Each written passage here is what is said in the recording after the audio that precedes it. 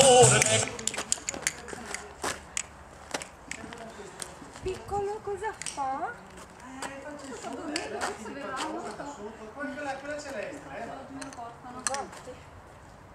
eh? se dovete spogliarvi, spogliate che stiamo sudando tutti quanti come dei maiali. Ah, io sono già spogliata.